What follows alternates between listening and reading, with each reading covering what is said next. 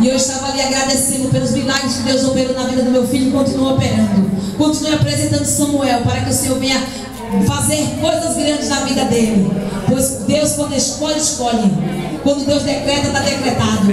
Então, o que Deus prometeu na vida da missionária Elaine, eu já chamo de pastora. Aleluia, mulher ungida de Deus. Porque Deus sabe, aleluia, o amor e a autoridade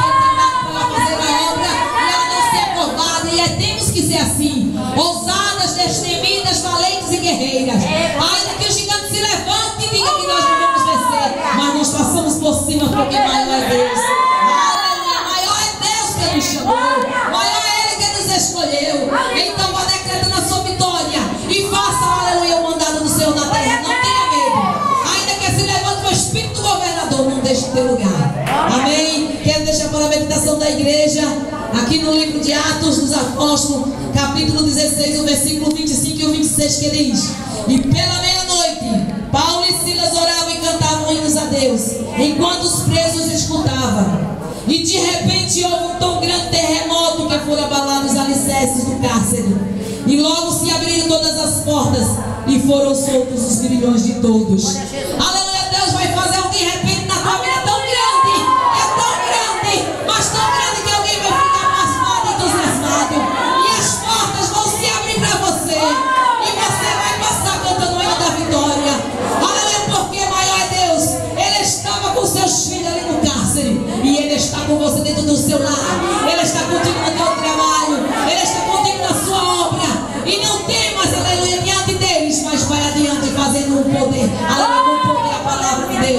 fazendo o que Deus quer que você faça.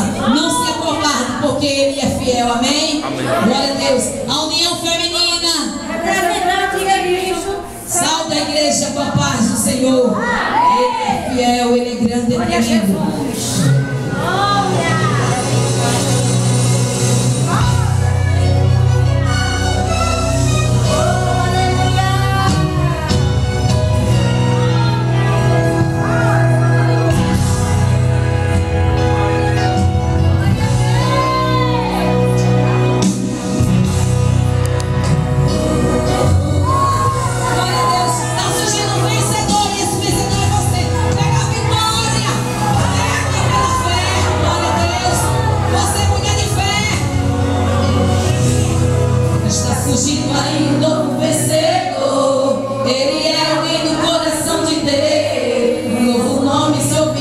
nessa terra. Quem sabe esse nome seja o seu. Esse é o que?